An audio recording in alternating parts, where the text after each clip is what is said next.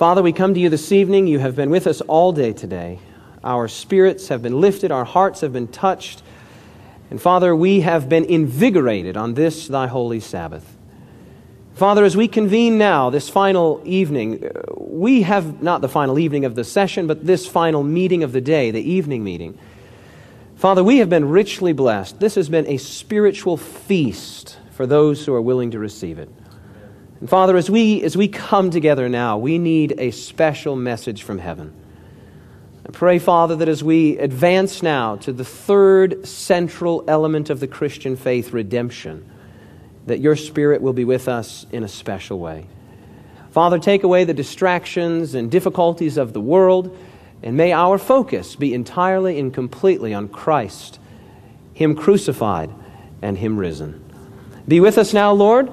Condescend to come into this room, speak through this humble servant, that a message may be delivered, not because of Him, but in spite of Him.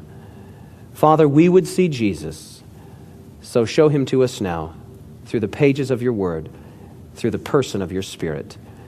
In Jesus' name, let all God's friends say, Amen. Amen. We continue our series four for faith, and I'd just like to quickly review with you what we're doing in this series. We are looking at the four central elements of the Christian faith revelation, that is, that God has revealed himself, resurrection, and that is that God was incarnate, literally infleshed in the person of Christ, that he died, and that he rose again. And last night we looked at some of the historical and factual evidences for the resurrection of Christ.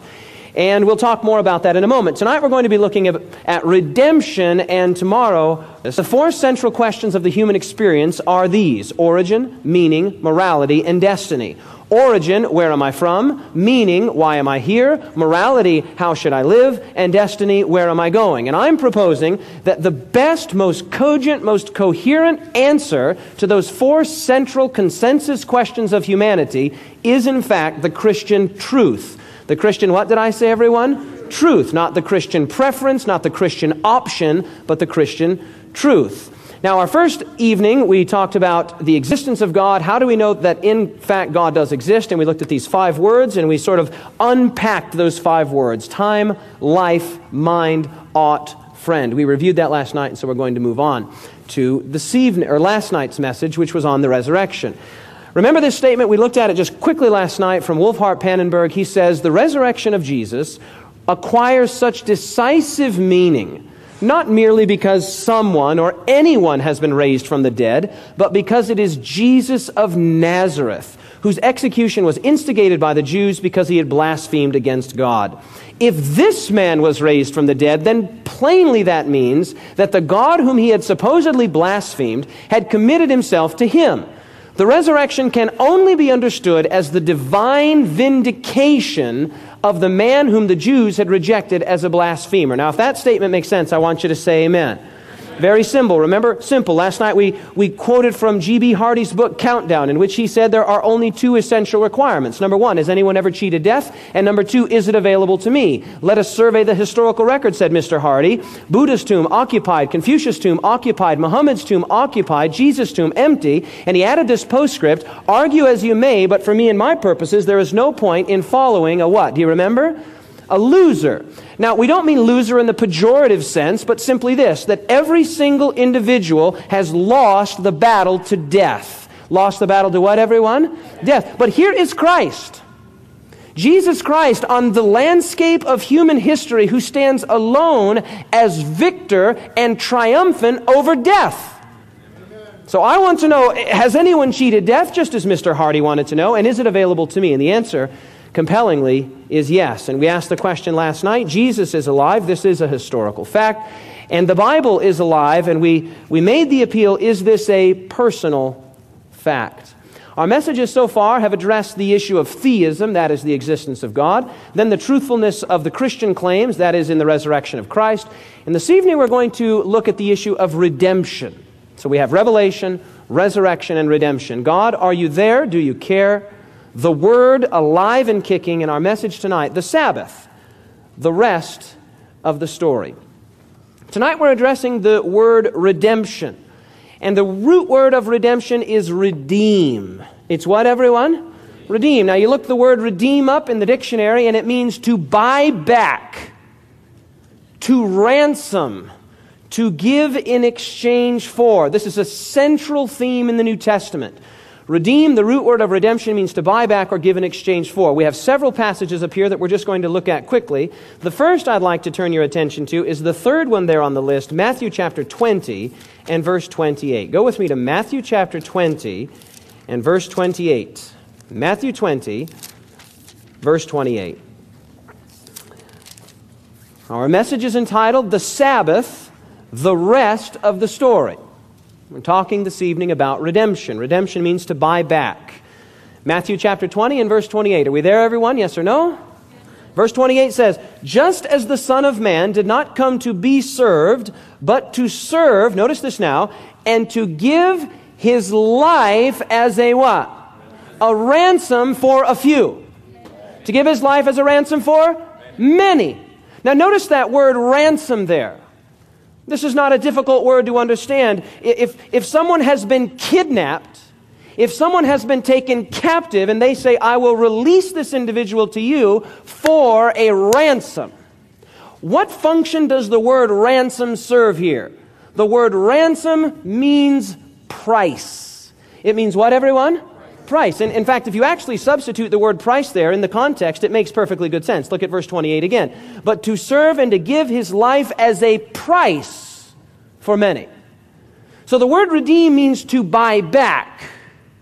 When we're speaking of purchasing something or buying something, the question that, that, that necessarily comes up is what's the cost? And Jesus here says in the plainest language, to purchase humanity back, I couldn't use silver and gold and money. I had to use my own life. In fact, that's what Peter says in 1 Peter chapter 1. Look at that with me if you can. Get there quickly, 1 Peter chapter 1, and notice with me verse 18. 1 Peter chapter 1, beginning in verse 18. The Apostle Peter says, Knowing that you were not redeemed, there's our word knowing that you were not redeemed. 1 peter chapter 1 verse 18 with corruptible things like what everyone? Silver or gold from your aimless conduct received by tradition from your fathers. You could just easily insert sin. You were not redeemed from sin with silver and gold but what were we redeemed with then? Verse 19 but with the precious what everyone? Blood of christ. Now no, notice this. Hang on to this.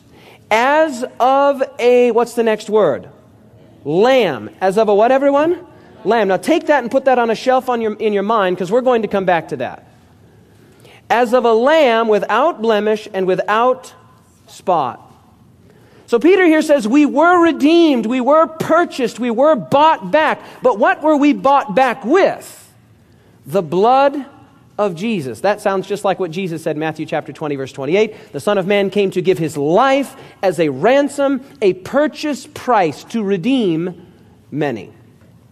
Now you're still there in 1 Peter chapter 1. Look at chapter 3 and verse 18. You stay right there in the same book, chapter 3 verse 18. It says, For Christ also suffered once for sins. Notice this now. The just for the what, everyone? The unjust, that he might bring us to God, being put to death in the flesh, but made alive by the Spirit. The just for the unjust. There's that redemption, there's that exchange, there's that purchase price paid. The just, that is the righteous Christ, giving his life for the unjust, that is the unrighteous, you and me. And notice Revelation, last book of the New Testament, easy to find, Revelation chapter 5. Here we find this marvelous chapter. We enter right into the very throne room of heaven. And in Revelation chapter 5 and verse 7, we find this Then he came and took the scroll out of the right hand of him who sat on the throne. Verse 8 Now, when he had taken the scroll, he being Christ, the four living creatures and the 24 elders fell down before the Lamb, each having a harp and golden bowls full of incense, which are the prayers of the saints. And they sang a new song, saying, Here's the song that is sung to Christ at his coronation. Verse 9 You are worthy to take the scroll and to open its seals. Notice it now. For or because you were slain and have, what's the next word? Redeemed us to God by your what, everyone? By your blood out of every tribe and tongue and people and nation. So this is a consistent theme in the New Testament. In Matthew chapter 20, redeemed, ransomed. 1 Peter chapter 1, redeemed with what? With the blood.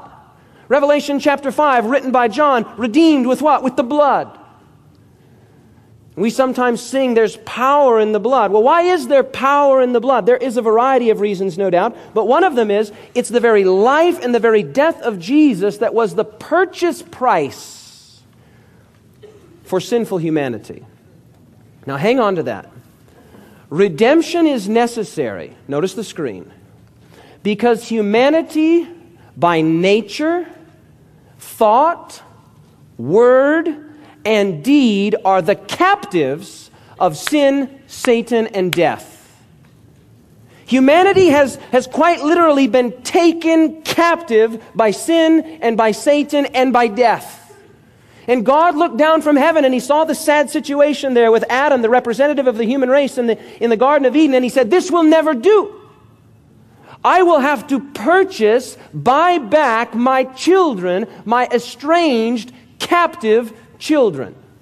The wages of sin is what, everyone? And how many of us have sinned? All have sinned and come short of the glory of God. And so, if we are to be saved, then we must be bought back from our rightful captors. Now, if this makes sense, say amen. This is basic Christian theology. Basic orthodoxy when it comes to the purchase or the redemption of humanity by Christ.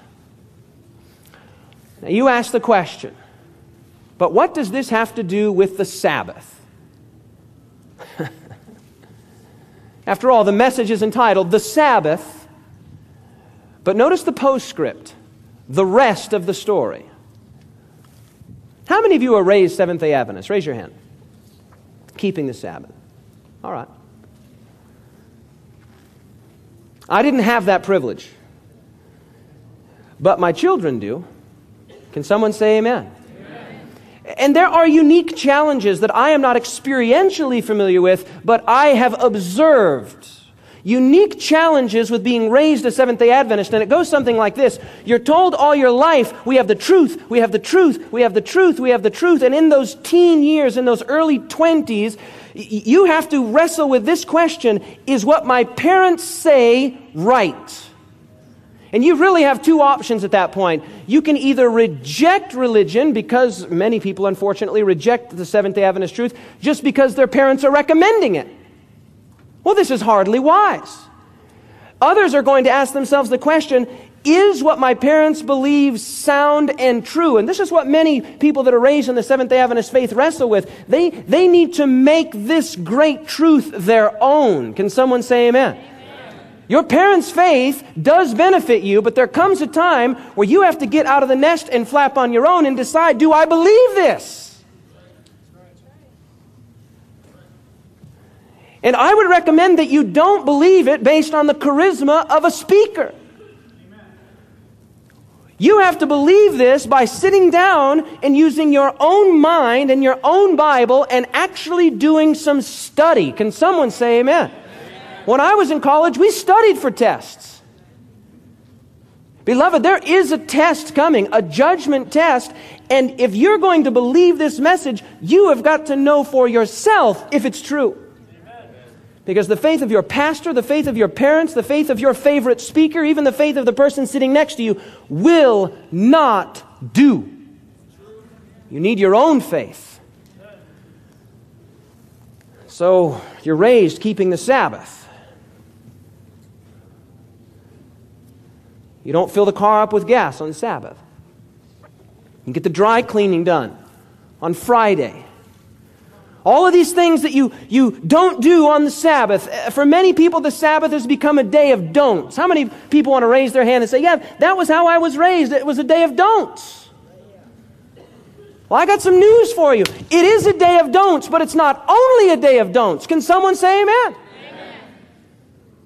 Nothing wrong with some don'ts. Listen, you get married and you enter into a relationship of don'ts.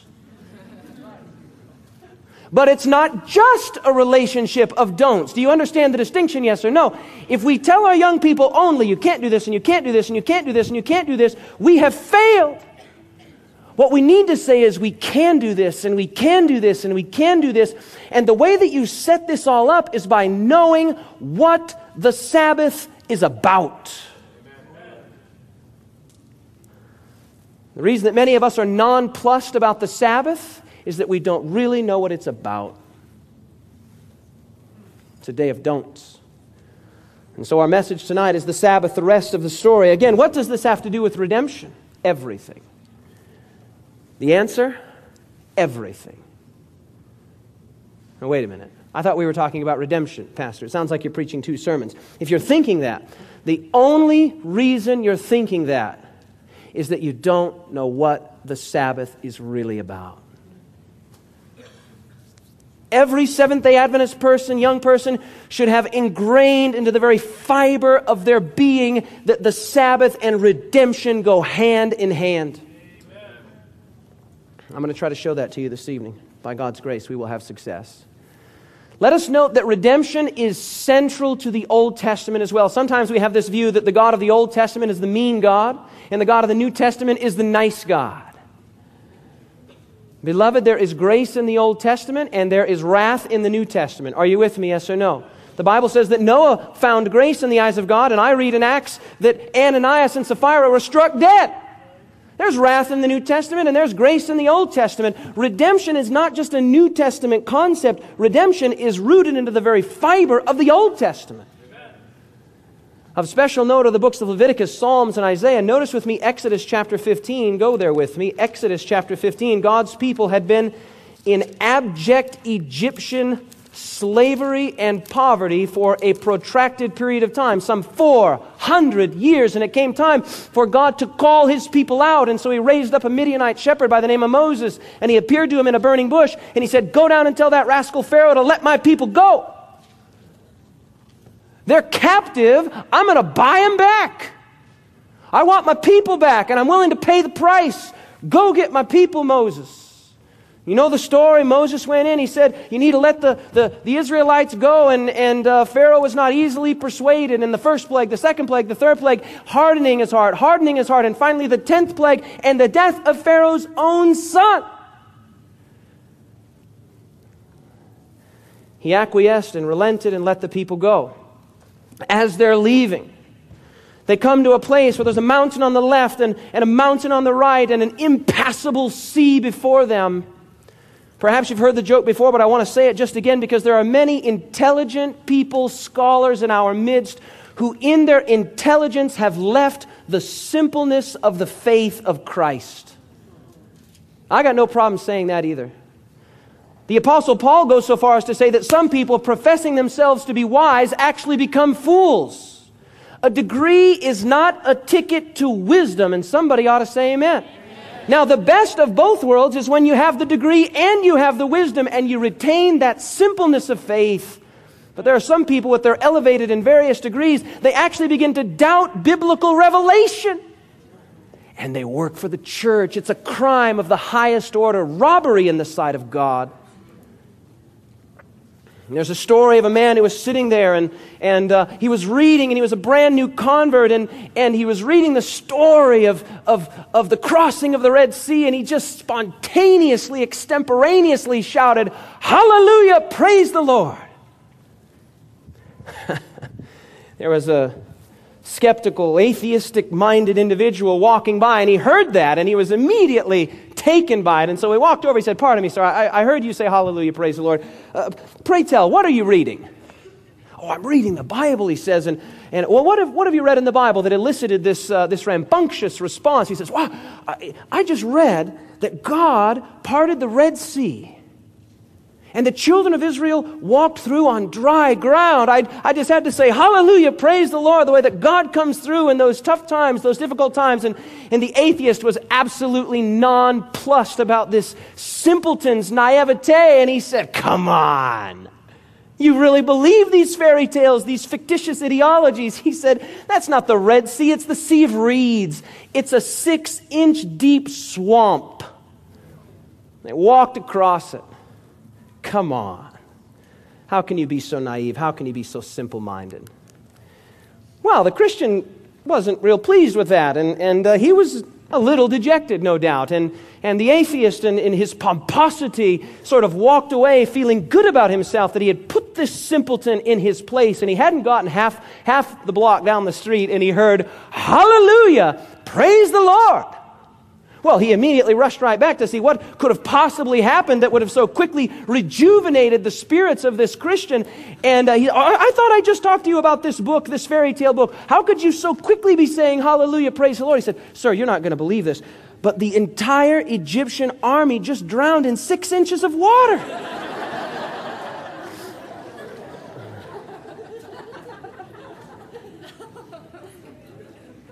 Except ye become as little children. Beloved, the Christian faith is not an anti intellectual faith. Can someone say amen? amen?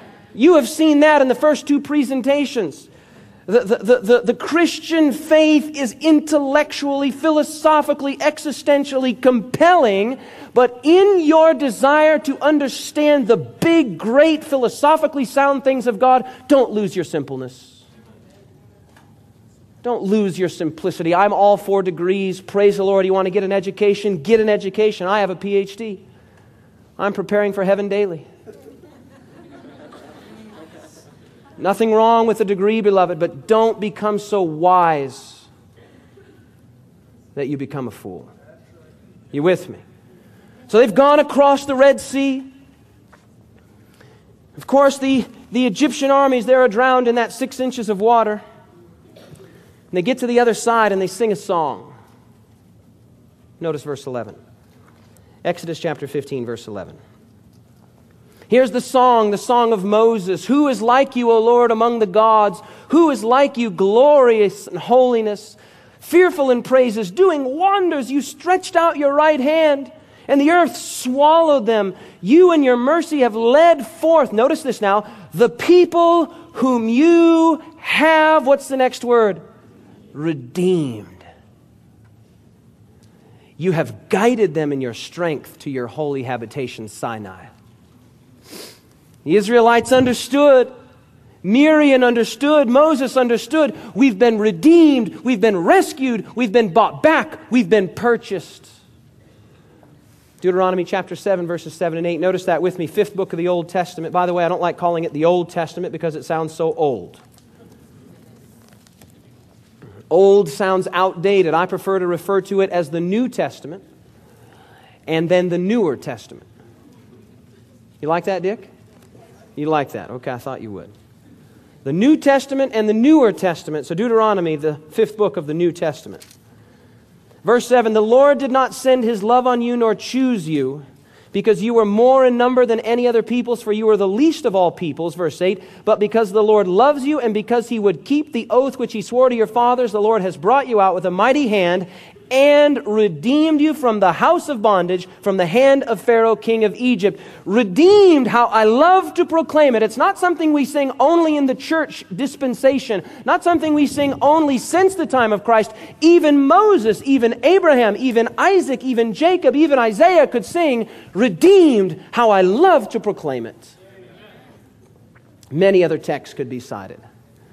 Now remember, don't miss this. Before, you notice that word is in italics. Before, what's the word, everyone? Before. Before the children of Israel were led to Mount Sinai to hear the commandments, that is the moral exhortations of God. Before they got to Mount Sinai, they were first taught the institution of the what? The Passover. The importance of this cannot be overstated. The Passover lamb represented who, beloved? Jesus Christ. Now think about this. The first plague comes, the second plague, the third plague. We get to the tenth plague, which is the death of the firstborn.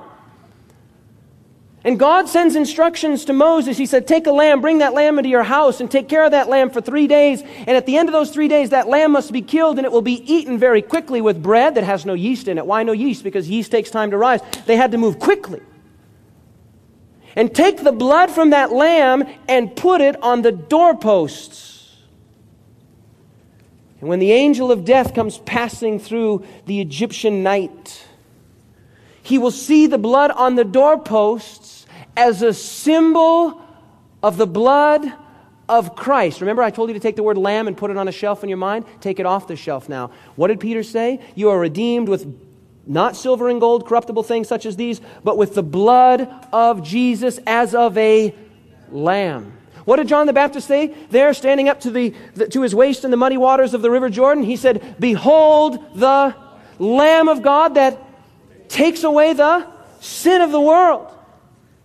And as that angel of death would go gliding through the, the city and, and the firstborn of the Egyptians were being slain, why? They didn't have the blood.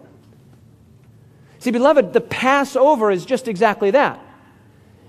It's when the sentence of death passed over God's people. Why? Because of the blood of the Lamb. Now, beloved, don't miss the sequence. Don't miss the chronology. What comes first?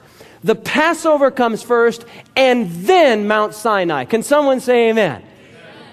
Beloved, this should forever solve the question of, of righteousness by faith and how obedience fits into that. First, they were taught the glorious institution of the Passover, righteousness by faith in the blood of the Lamb, and then they heard the moral exhortations of God, thou shalt not kill, thou shalt not commit adultery, etc., etc. Do you see the sequence there, yes or no? Beloved, you can't keep the commandments unless you have faith in Christ, present faith in a present Savior. Many people are trying to obey the moral exhortations of God without the confidence that they are presently forgiven by that same God.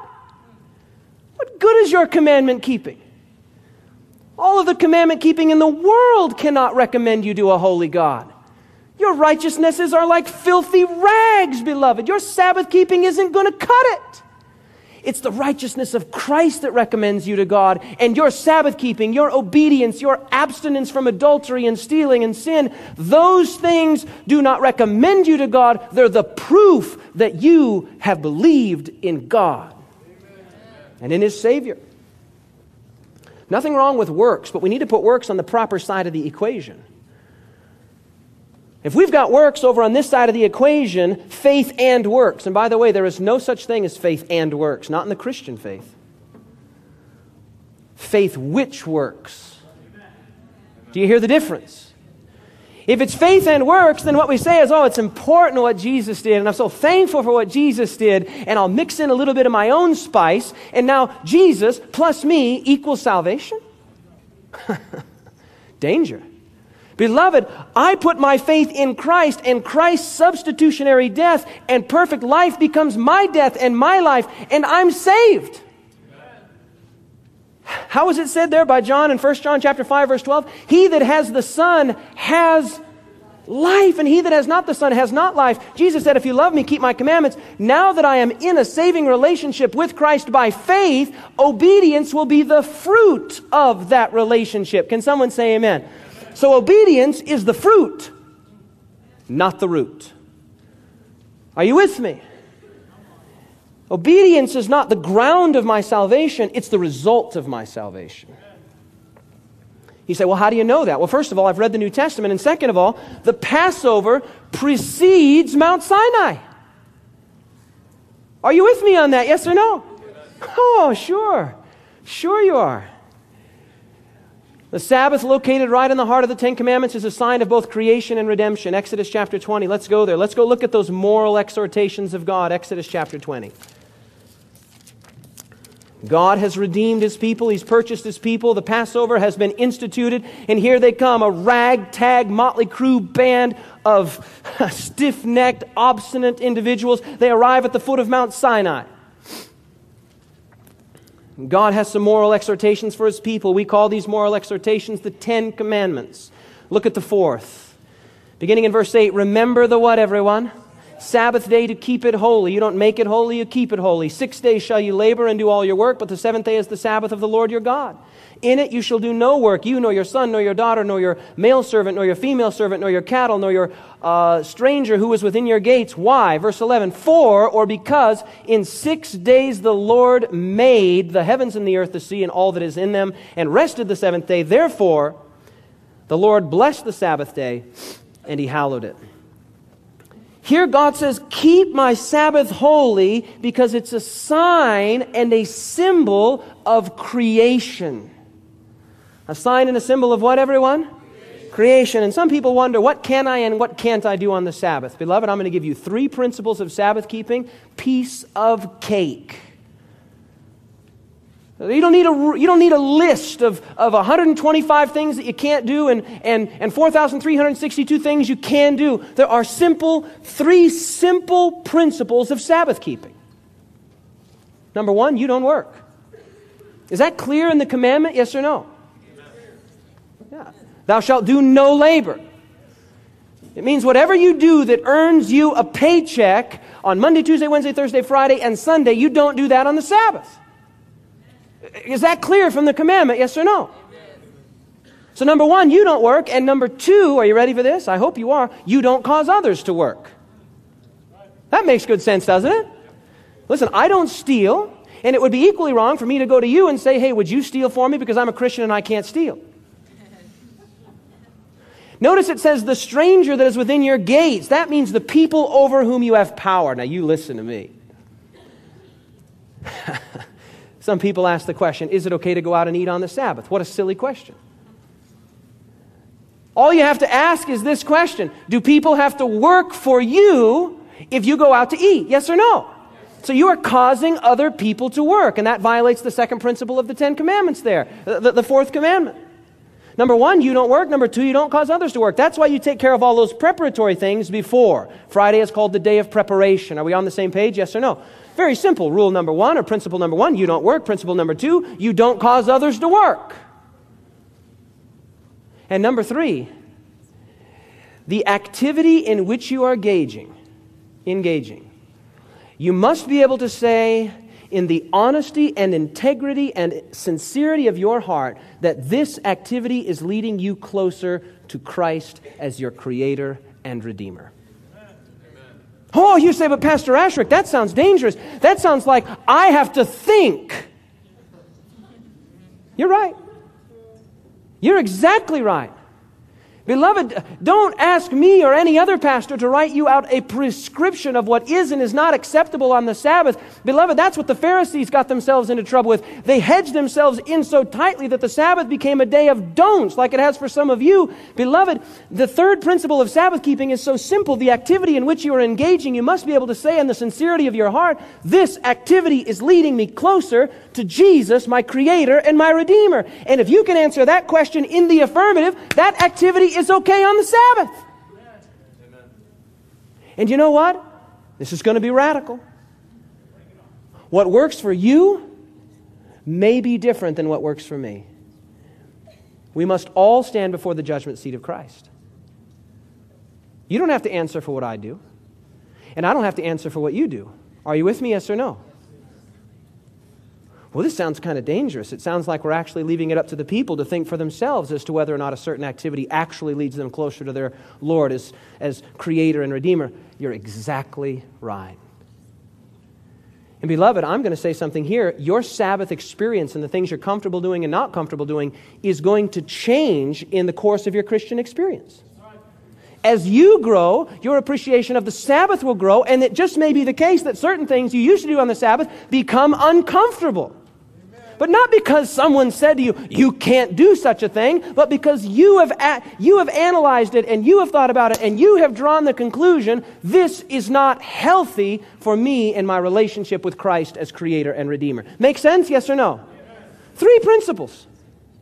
Number one, you don't work. Number two, you don't work. And number three, the activity in which you are engaging, you can say in the sincerity and authenticity of your heart, this activity is leading me closer to Christ as my Creator and Redeemer. Simple. So the Sabbath is a sign of creation.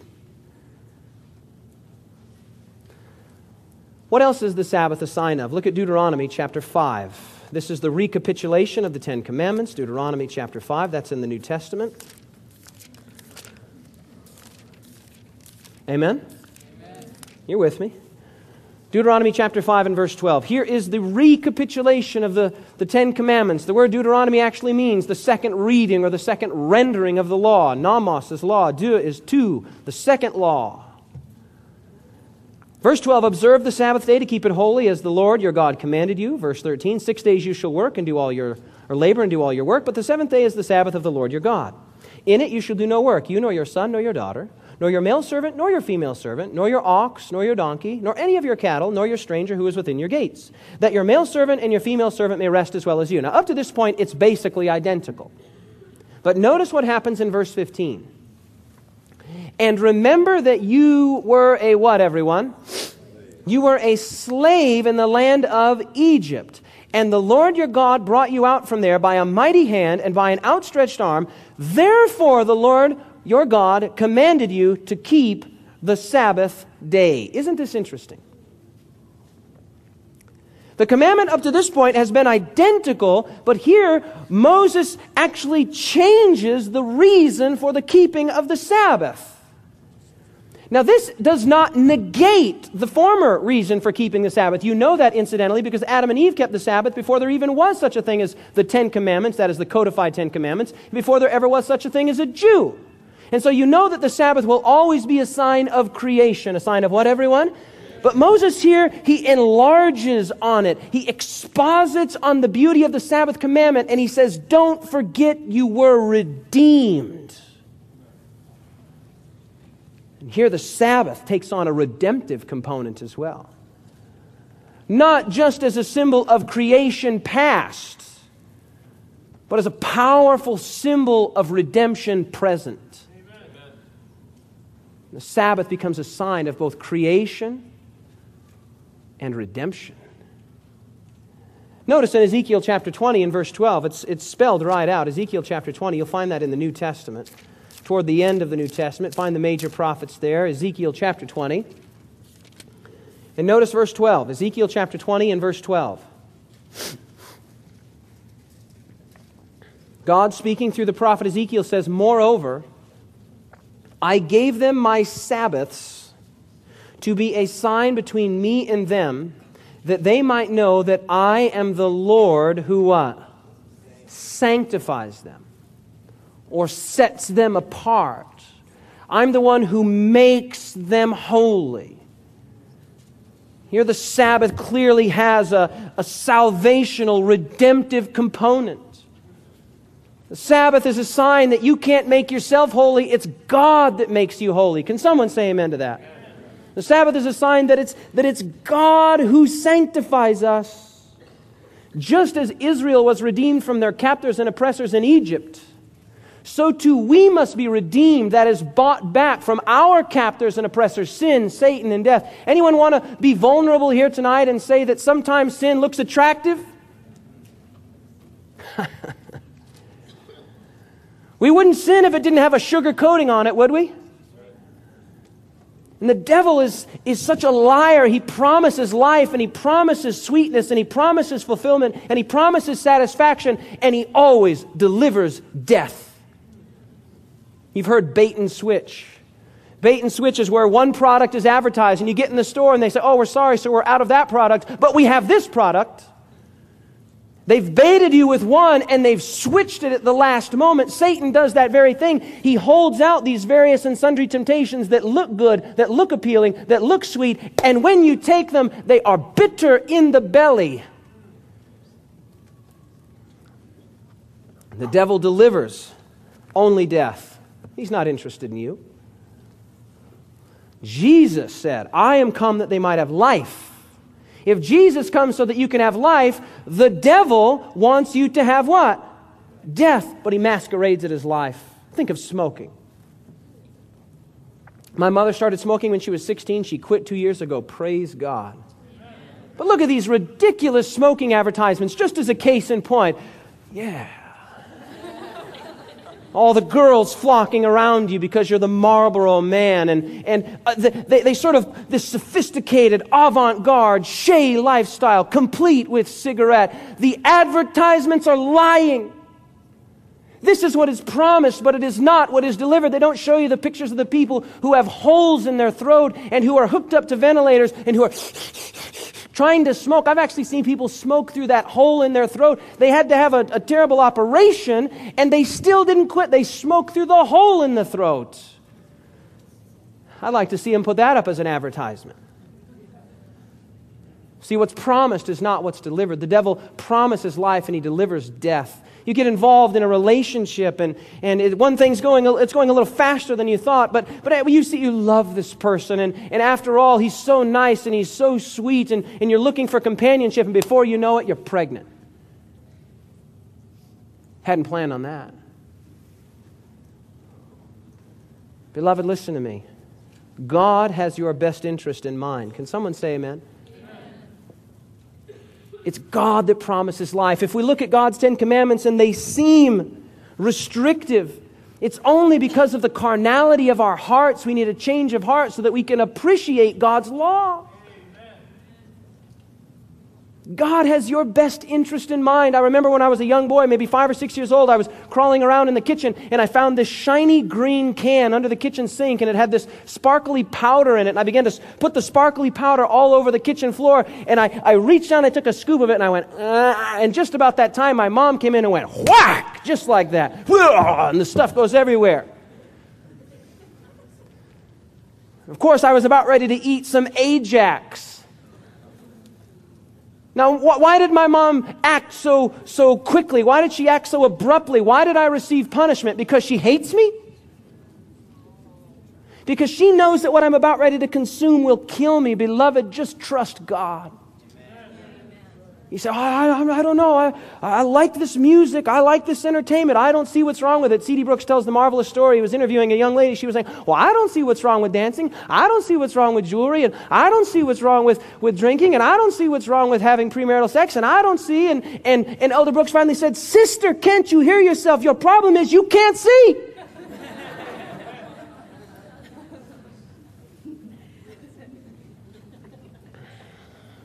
The law of God becomes a delight when we're converted. If it looks restrictive, it's because God doesn't have our heart.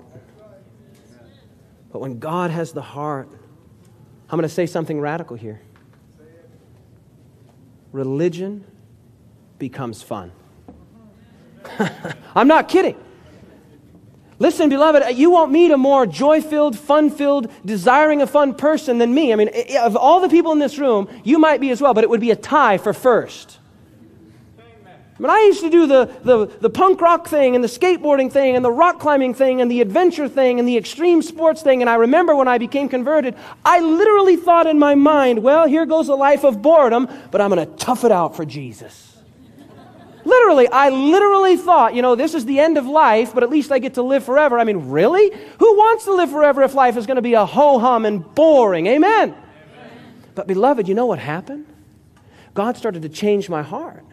So the things that I thought would be absolutely, entirely, completely boring became a joy.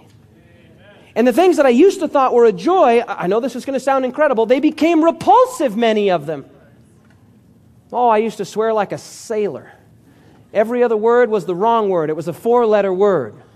And uh, I'll tell you a true story. When I became a Christian overnight, literally, when I gave my heart to Jesus, June 6, 1996, literally, I stopped swearing from that day forward. It just, God just took it from me.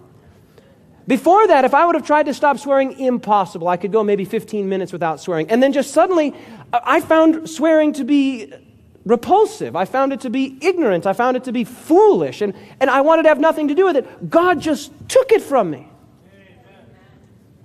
Amen. Friends, if you'll give, be honest with God, tell Him you like your sin. Don't pretend like you don't like it.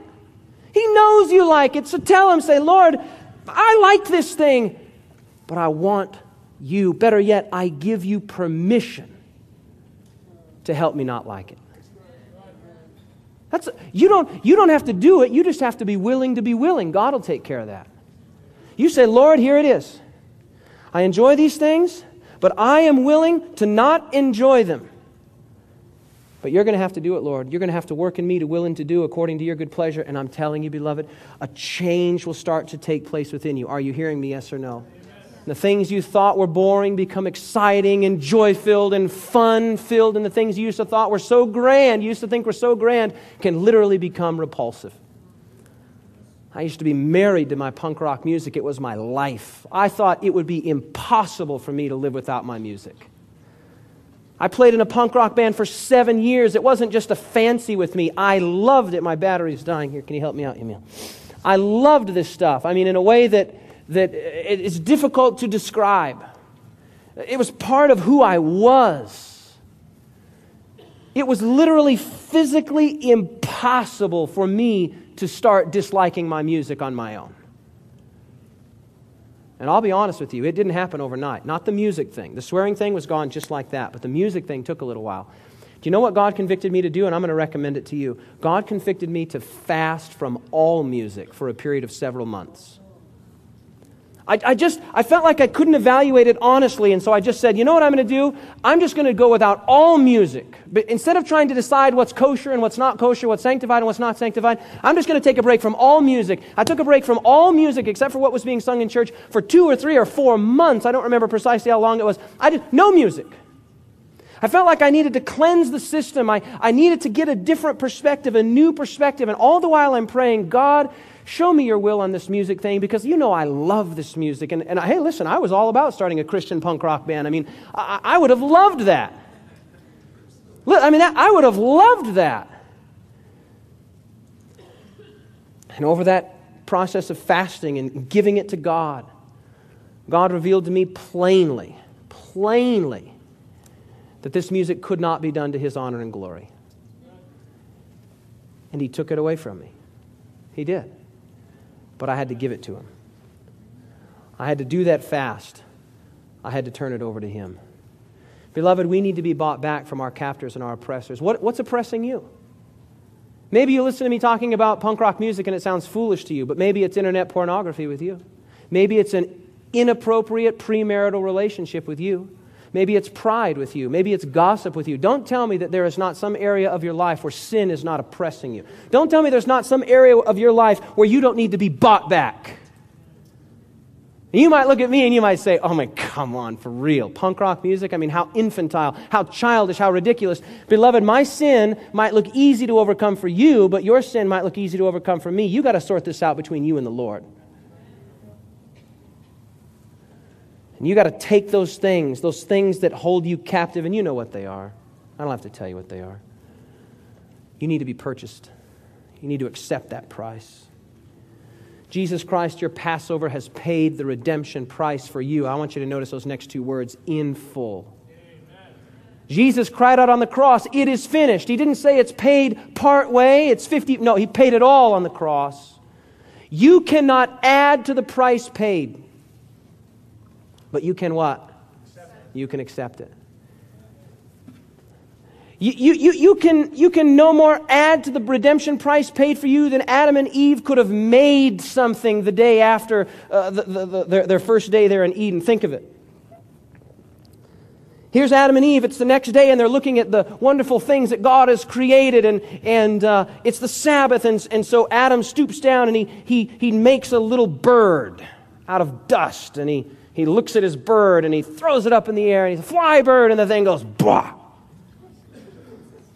I can imagine God walking into this fictitious scenario and saying, Adam, I'm sorry, um, what are you doing? Well, God, I'm, I'm trying to create something. I'm, I'm going to make something like you did. I'm going to add to your work of creation. And I, I can just imagine God saying something like, Adam, you can't add to this, but you can enjoy it. Why couldn't he add to it? It was finished. Right? The creation was finished. It is it's finished. It's done. God saw everything that he had made, and behold, it was very good. And, and he could have easily said to Adam, he could have easily said to Eve, listen, you don't add to my creation, you enjoy it. Amen. So too with redemption. Beloved, you don't add to your redemption, you enjoy it. Amen. It's finished. The Sabbath is a sign of both creation and redemption. You can accept Christ's purchase of you. You can enter into the Sabbath rest of redemption. You can see, cease to work to gain God's favor, knowing that Christ has already purchased that favor for you. Wouldn't you accept that price just now? Won't, won't you serve Him with your whole heart? You know, there's a, an interesting thing about purchasing something. Because what's of value to you may not be of value to me.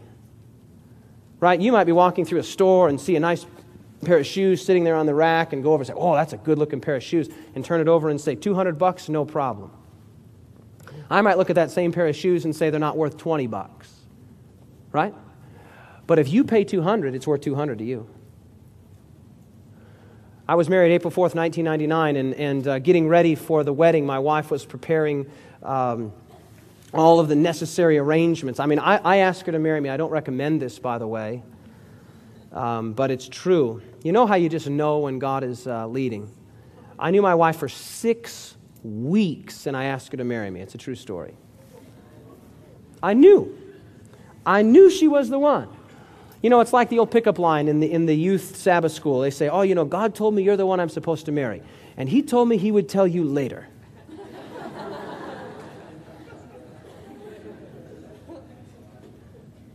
Now, we, I asked her to marry me after six weeks, true, but then we did have to wait. You know, I didn't want to rush things. I wanted to be sure. You know, I wanted to be sure she was the right one. So we waited six months, and, and during that six months of, of engagement, we were getting things ready. And, and you know how the ladies can be. You know, I, I would have gotten married in the backyard, right? And I, the bridesmaid's color, cummerbund, any of that, just, sweetie, as long as at the end of the day we're married, you, whatever. Just, just do it. So we went to this uh, place where we were going to rent a tuxedo in downtown Napa Valley. My wife is from uh, Northern California. And so we went to this men's store in downtown Napa Valley. Now, Napa Valley is very shay, very hip, very cutting edge. And, and so we went to this men's store, and immediately Violet, Violetta went in. She began to visit with the lady there about the tuxedos and the rental prices. And so it was a men's store. I began to look around just at the various offerings that they had. And I saw a nice jacket, a wool blazer, a good looking blazer. And, and I'm the kind of person that before I decide if I like something, I look at the price. That's a good piece of shopping advice, ladies. Look at the price before you decide if you like it. And so I looked at I said, well, I, I may like that. And so I looked at the price and I went, oh, surely this is a misprint. Surely there's a typo here. So I, I looked at the, the, the jacket behind. There were several hanging. I looked at the one behind and said the same thing. So I looked at the one behind that, same thing. So I, I turned around to look at the, back of the jacket to see if there was a jet pack there or something. Maybe there was some Kevlar material inside that made it bulletproof. I mean, I,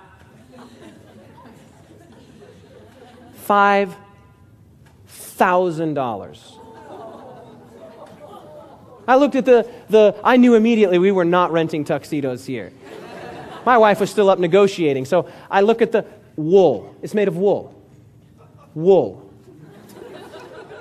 So I went over to the shirts. True story. I went over to the shirts. And they had some shirts, some nice white cotton shirts that look exactly like this one. $600. I began to wonder if there was anything I could afford in the store. The belts were $500. The socks were only $72 a pair black wool socks, just like those that you see right there. And I paid, I think, $6 for three of these at Target. Beloved, $72. I was thinking to myself, for real? Then it dawned on me. Don't miss this. Don't miss this. It must be the case that people go into a store like that and buy those things. I mean, the store is open. I, I, mean, I suppose it must be the case that someone comes in there and says, Oh, it's a good looking blazer. Try it on, you know, you do Maybe, maybe the wife's there. Say, Sweetie, what, what do you think of this? What do you think? Oh, that looks nice on you, sweetie. That'd go good with your khaki pants. Yeah, I kind of like it too. And so, oh, sweetie, it's only $5,000. I think we'll get two of them. Now, now, we kind of laugh at that, but friends, it must be the case that people spend that kind of money for those things. Otherwise, how could stores like that be open? Now, beloved, here's the point. The value of that jacket is determined by the one who's willing to pay the price. I'm not paying that for that jacket. Are you with me? I, I'm, I'm not, I'm not, that is not worth it to me. But if somebody goes in and pays $5,000 for that jacket, it's worth it to them. Now, think about this the price of something is entirely subjective. The value of something is entirely subjective. Well, who determines it? The purchaser. The purchaser. Huh. So if, if I paid $50 for my shoes and you think they're not worth a nickel, it doesn't bother me. It's worth it to me. You with me? So God bought you back. And He gave you the Sabbath as a sign that you're purchased property. He created you, yes, but He also redeemed you. And He purchased you with His blood. Beloved, what is God worth? That's a tough one to answer, but I think it would be safe to say that God is worth an infinite amount of something. You comfortable with that? God is worth an infinite amount of something. When Jesus cried out on the cross, Eloi, Eloi, lama sabachthani, that is to say, My God, my God, why have you forsaken me? As far as Jesus was concerned, he was going to be eternally separated from his Father. He thought that sin was so offensive, so terrible, that this was going to be the end of it, and yet he went through with it anyway. What is the message of the cross?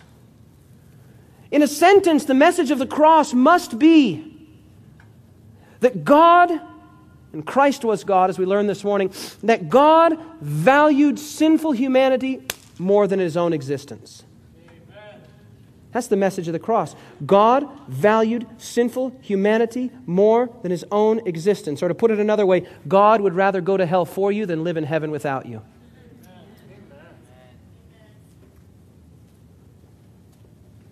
Now, you might not feel like you're worth that.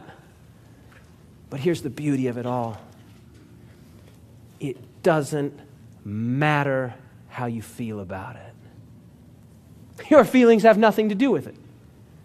He was, well, I don't feel like I'm worth much. And Frank, let me just be very honest with you here. Some of your parents have failed you. Not all of them, of course. But some of you have parents who have failed you. I know that story. I've never met my biological father. He, he, he was gone.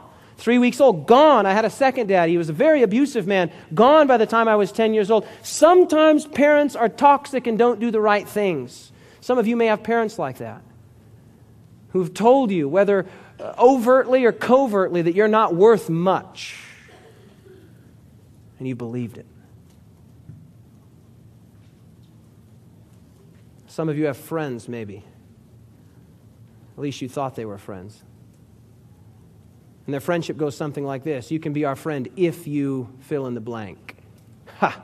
Some kind of friendship that is. I had a whole lot of those friends. You know what happened when I became a Christian? They disappeared. This is not friendship, this is simple economics. They, they like me as long as I provide something in the relationship. The moment I stop providing something, they're gone. What about the media, ladies? If you don't look just like this, you're not worth as much as those that do.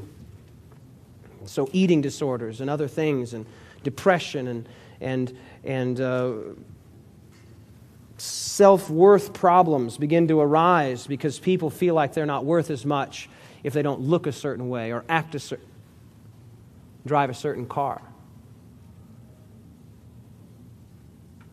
A good friend of mine, Matt Parra, likes to say that many people become slaves to other people's expectations of them.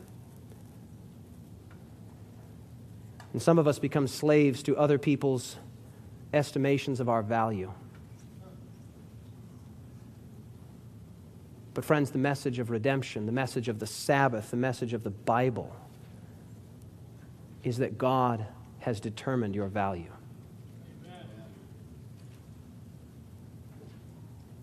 And he did it without your consent, by the way. You don't have to agree to it. God already did it. It's done. Price paid. What was the price? It was an infinite price. You don't believe me? The price paid for our redemption, the infinite sacrifice. Notice those two words.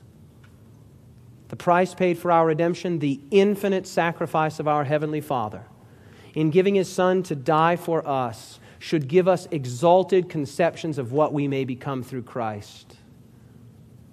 Don't let others talk you down, let Christ talk you up.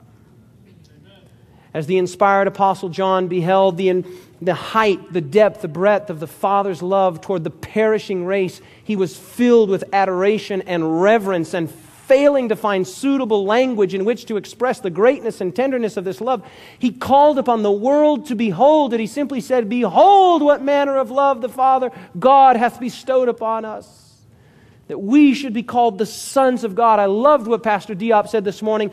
Only God has the prerogative to declare us his sons and daughters. What a value, notice that, what a value this places upon man. Do you know what your value is? Your value is equal with and consistent with the worth of God. That's what you're worth. Through transgression, the sons of man became subjects of Satan. Through faith in the atoning sacrifice of Christ, the sons of Adam may become the sons of God. Can someone say amen? And notice it's by faith. It's by what, everyone? It's by faith. You accept it, you receive it. You, you can't add to it. By assuming human nature, Christ elevates humanity. Fallen men are placed where, through connection with Christ, they may indeed become worthy of the name sons of God. Amen. Beloved, an infinitely high price has been paid for you. The message of the cross is that God valued you. Sometimes we say, maybe you've heard this before, Christ would have come for only one. Have you heard that? It's not true. He would have come for none he would have come even if no one accepted it. Because, friends, the price paid for you is less about you and more about God and who He is.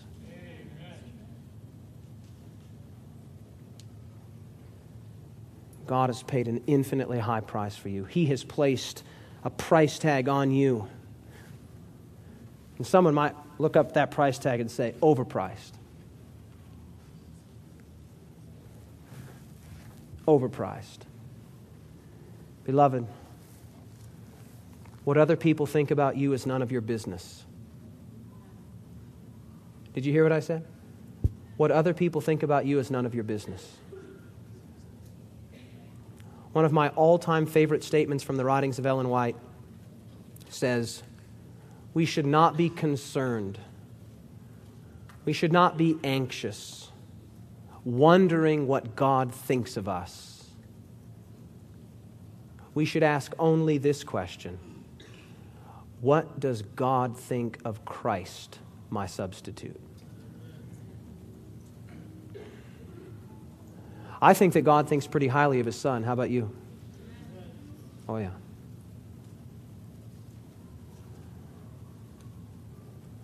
You can receive that purchase price. You can't add to it.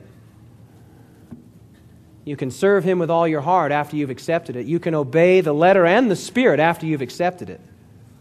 But you're not going to do anything to earn it. You receive it by faith. I want to ask two questions as we close this evening. Number one, has this message been clear, yes or no? This message has been clear, raise your hand. It's been clear. Okay? Good. Beloved, every time you keep the Sabbath now, you remember God created me, God paid an infinitely high price for me. The Sabbath will become a joy. I guarantee it. I promise. It won't become a day of don'ts, it will be a day of Christ. And here's the second thing I'm wondering if, if there's a young person here would like to accept the purchase price paid for them. what I mean by that, I want to be very specific, is you want to place yourself on the side of Christ by publicly professing that you accept His death as your death, His burial is your burial, and His resurrection is your resurrection and the fantastically wonderful ceremony that God has committed to us to symbolize his death, burial, and resurrection is none other than baptism. That's what baptism means. It means I accept the death, burial, and resurrection of Jesus as the price paid for me. and I publicly profess that I am on the side of Christ. I accept the purchase price.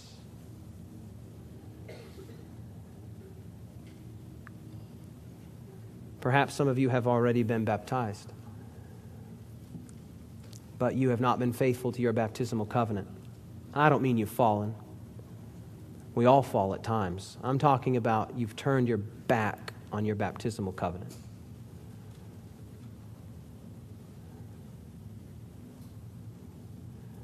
and you feel like you need to do it again, you need to re initiate that covenant with Christ. You want to accept his purchase price of you. My good friend Matt Minikis is going to come sing us a song. He's going to sing the Lord a song. We're going to listen in. This song is called Jesus Paid It All.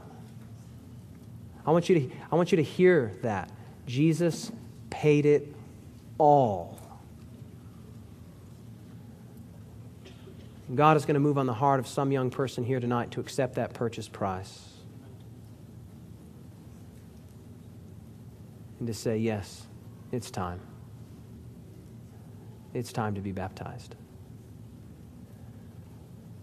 Don't feel like you're going to go get ready before you get baptized. You come to Christ just as you are. You can come right now. As Matt sings, I want to invite you, if, if that's a decision you want to make, not a doubt in my mind, someone's going to make that decision.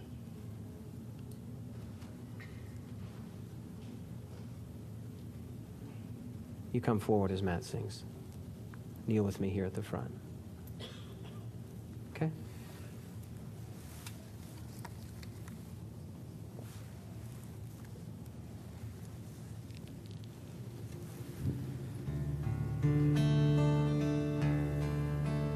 I hear the Savior say, Thy strength indeed is small. Child of weakness, watch and pray. Find in me thine all in all. Jesus paid it all. All to him I owe. Sin had left a crimson stain. He washed it white as snow. Amen. Thank you, Robert. Praise the Lord. Lord, now indeed I find thy power and thine alone can change the leopard spots and melt the heart of stone.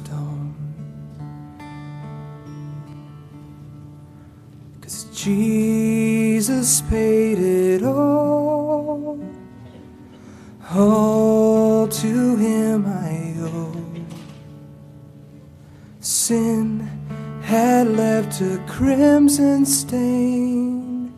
He washed it white as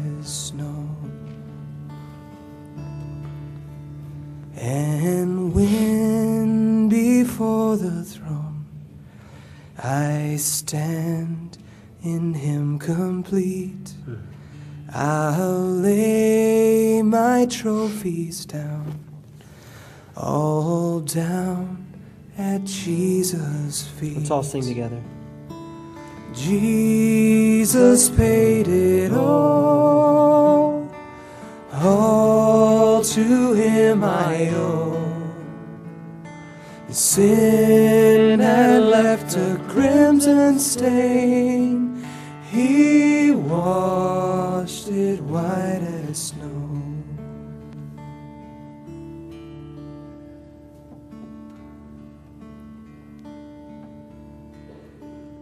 Father in heaven,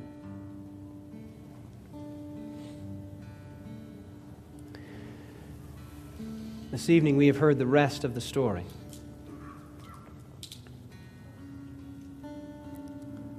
The Sabbath, not as a day of don'ts, but as a day of creation, a day of redemption, a day of Christ. Father, we understand tonight, biblically, the purchase price, the redemption price. We've been bought back from the land of the enemy, from the captor. Father, sin, Satan, and death has oppressed us. Many of us have been living in the land of the enemy. Many of us still are living in the land of the enemy. Christ is calling us to himself. He says, What more can I do? Paid the price for you in full. And I invite you to come to me. Come accept the purchase price paid. You cannot add to it, you cannot diminish it, but you can receive it.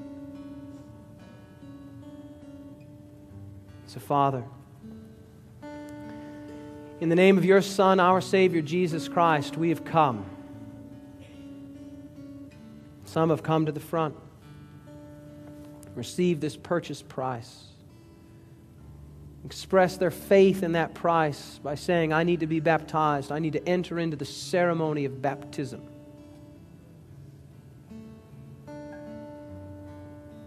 Put myself on the side of Christ. Father, it's likely there's a young person here who didn't respond. Oh, Lord, help them to see that now is the accepted time, now is the day of salvation. It's not safe nor wise to wait until tomorrow. The world is calling, temptation is calling, pleasure is calling. And then there's another voice. And lo, Christ is calling. Father, tonight, may that person who's struggling even now hear the voice of Christ calling them, Come.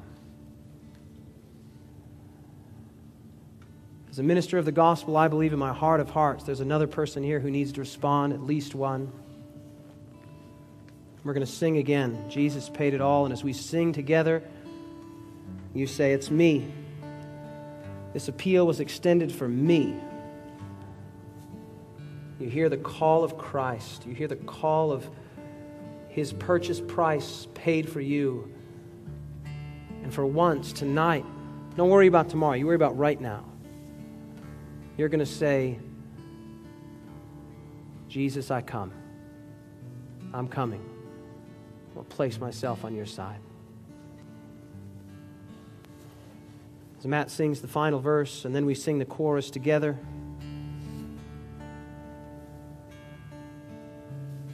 I want you to know that this appeal was extended for you. If, you. if you're wrestling right now, this appeal is for you.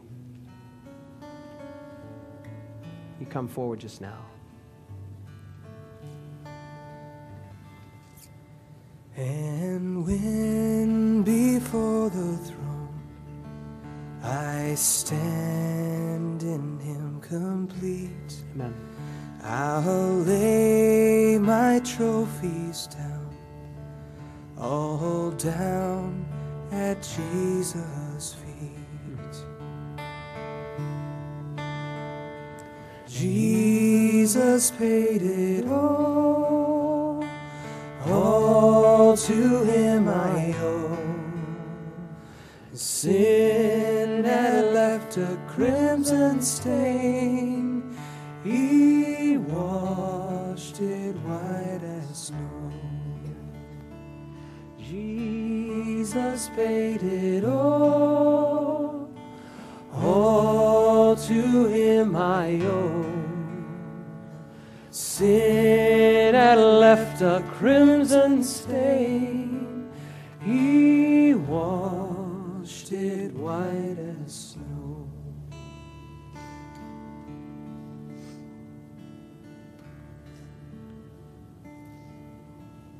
Father, tonight we've heard your voice.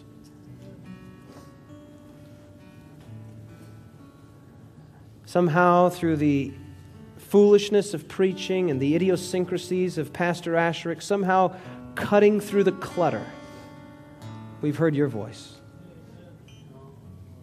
And your voice has said, My son, my daughter, I did it for you.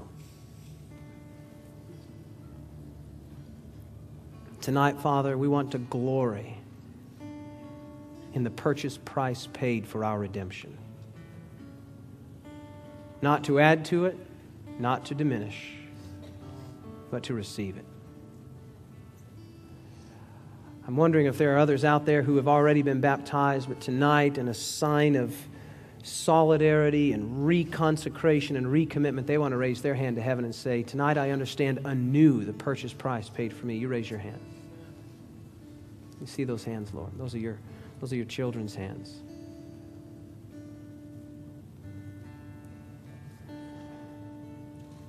Father, thank you. You have heard us tonight.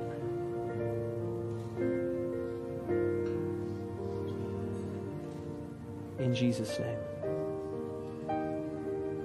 Amen.